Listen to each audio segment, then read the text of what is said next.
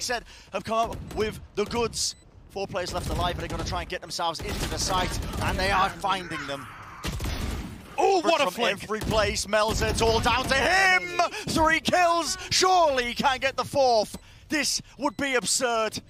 What a salvaging around if he can make it happen, but he's intelligent with it. Rotates around, plays the positioning of the pillar, and time for the spike, and he gets it! Unreal scenes! Did he just run at him? What an absurd way of playing that situation. I thought